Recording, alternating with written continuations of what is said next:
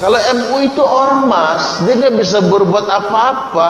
Nah, maka disusunlah undang-undang undang-undang yang mengamanatkan pembentukan badan BPJPH. Apa itu?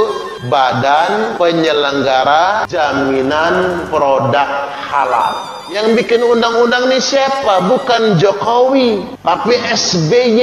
Pak SBY yang mengamanatkan bikin undang-undang itu diamanatkanlah ke depannya sertifikasi produk halal harus dikelola oleh pemerintah. Kalau MUI nggak punya kekuatan memaksa, dia anggota dewan bukan, polisi juga bukan, jaksa juga bukan. Ini banyak orang nggak cerdas pak, cuman bisa komentar ribut aja. Ini main demak, demo, demak, demo gitu ya. Apa-apa demo, apa-apa demo gitu.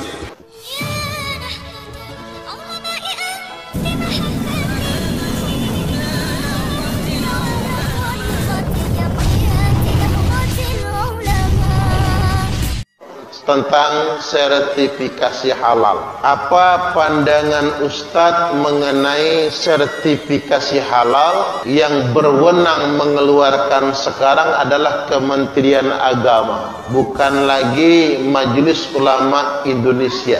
Kalau saya ngejawabnya pas pak, karena saya pengurus MUI. Yang nggak pas itu pengurus MUI bukan, tapi ngejawab. Itu bikin rusuh namanya itu bikin rusuh. Jadi begini, jawabannya ngurutin. Saya dulu pernah ditanya, Pak. Ustaz, banyak betul warung bakso, warung makanan, produk yang belum bersertifikasi halal. Nah, Ustaz MUI, Ustaz bisa berbuat apa? Jangan cuma jadi pengurus MUI. Ustaz nggak bisa berbuat apa-apa. Ya terdiam saya Pak digituin orang. Terus apa jawaban saya Pak? MUI itu ormas. MUI itu organisasi. Dia bukan pemerintah, bukan eksekutif, dia bukan yudikatif, bukan penegak hukum, dia bukan legislatif, nggak punya kewenangan apa-apa MUI itu. Dia hanya bisa menghimbau saja kecuali kata saya kalau sertifikasi halal itu menjadi undang-undang dan yang mewajibkannya pemerintah. Pelaksananya siapa? Eksekutif. Yang menguasai siapa? Legislatif. Yang menegakkan hukum. Kalau ada pelanggaran siapa? Polisi jaksa hakim. Dan itu jawabannya sekarang Pak. Pertanyaan itu sekaranglah jawabannya kalau MUI itu ormas, dia nggak bisa berbuat apa-apa. Nah, maka disusunlah undang-undang undang-undang yang mengamanatkan pembentukan badan BPJPH. Apa itu? Badan Penyelenggara Jaminan Produk Halal. Yang bikin undang-undang ini siapa? Bukan Jokowi, tapi SBY. Pak SBY yang mengamanatkan bikin undang-undang itu.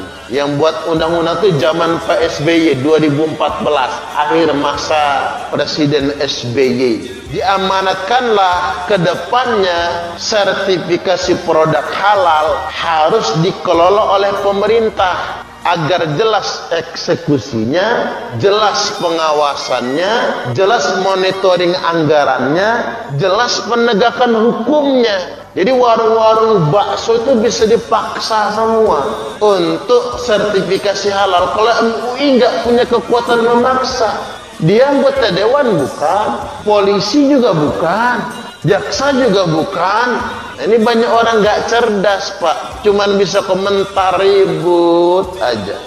Terus biasanya demo, demo itu kan haram kalau menurut syariat Islam.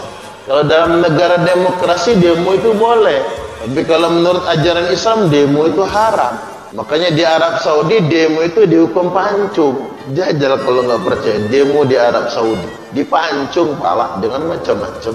Ya untung kita bukan Arab Saudi pak. Indonesia Raya tercinta ini yang main demak demo demak demo gitu ya. Apa-apa demo apa-apa demo gitu. Pakai baju agama lagi malu ngedengarnya itu. Nontonnya aja malu saya ini. Saya harus ngomong begini karena kita ini muslim. Jangan mudah betul memanfaatkan agama itu. Balik lagi bahwasanya itu memang diselenggarakan agar jelas kepastian hukum.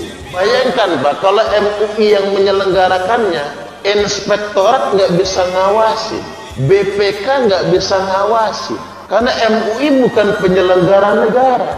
KPK nggak bisa ngawasi, nggak bisa. Tapi kalau Kementerian Agama yang melakukannya dia eksekutif. Ada inspektorat, ada BPK yang mengauditnya, ada KPK kalau ada pelanggaran hukum di dalamnya.